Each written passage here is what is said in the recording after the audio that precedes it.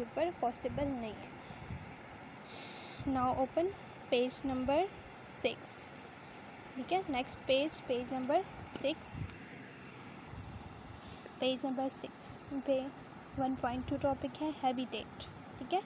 The place where organism slaves grow and reproduce is called their habitat ऐसी जगह जहाँ पे कोई जानदार रहता है ग्रो करता है और रिप्रोड्यूस करता है, ठीक है?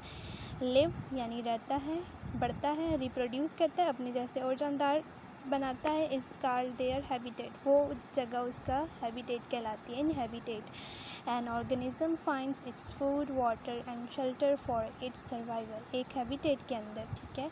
एक ऑर्गेनिज्म जो है, वो अपनी खुराक तैयार खुराक तलाश करता है, पानी को तलाश करता है एंड शेल्टर और साया तलाश करता है फॉर इट्स सर्वाइवल अपने ज़िंदा रहने के लिए। Habit habitat is made up of non living factors such as soil moisture temperature and light एक जो हैबिटेट है ना, उसमें दो तरह के फैक्टर्स होते हैं लिविंग एंड नॉन लिविंग सबसे पहले इन्होंने बताया है नॉन लिविंग फैक्टर्स के बारे में और वो कौन कौन से हैं?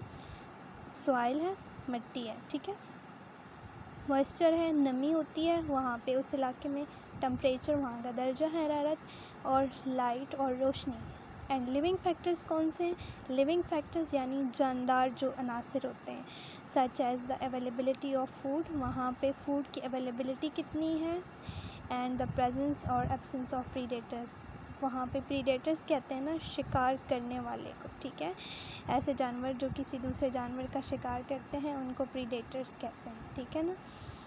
समझ आ गई तो एक या दोबारा से हम इसको रिवाइज कर लेते हैं। The place where organisms live grow and reproduce is called their habitat एक ऐसी जगह जहाँ पे कोई जानदार रहता है ग्रो करता है और अपने जैसे दूसरे जानदार बनाता है, उसको क्या कहते हैं? उस उस जगह को क्या कहते हैं? हैबिटेट कहते हैं। एक हैबिटेट के अंदर एक ऑर्गेनिज्म अपनी खुराक, पानी और अपने लिए साया जो है वो तलाश करता है।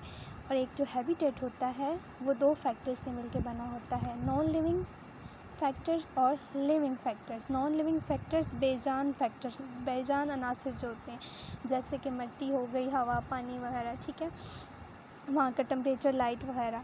और लिविंग फैक्टर्स कौन से होते हैं? वहाँ के एनिमल्स ठीक है? वहाँ पे पौधे वगैरह, वो सारे क्या कहलाते हैं?